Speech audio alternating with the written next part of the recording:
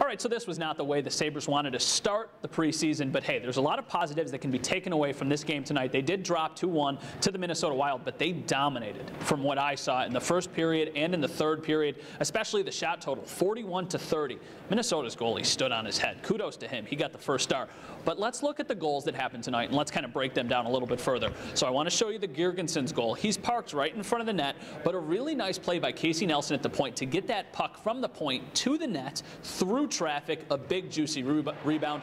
Girgensons knows what to do with it. Dan Bylsma said after the game it was nice to see Girgensons get a goal so early on. Girgensons said he really wants to improve considering the season that he had last year. And I think personally, Casey Nelson stood out to me probably more than any player that was on the ice tonight. And Dan Bylsma said he has had a really good training camp and he actually looks like a seasoned vet compared to some of the other players that are out there. So a really nice game for Casey Nelson. All right, now Minnesota's first goal.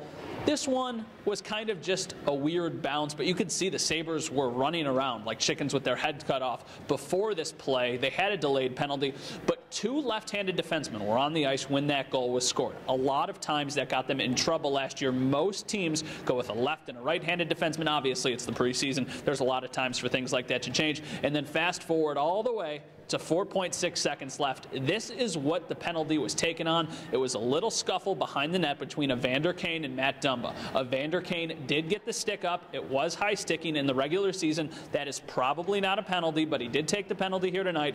And then on the four on three, it's such a tough position to be in. Maybe a little bit of a better play from the defenseman who was in front of the net, but just an absolute rocket by Jason Zucker. That's one that Linus Ullmark's not stopping. Most goalies in the league aren't stopping that one. So that's really what I took away from tonight's game. Thanks for following along with us on Twitter. And hey, we'll be right back at it tomorrow night. The Sabres back home tomorrow at 7 o'clock.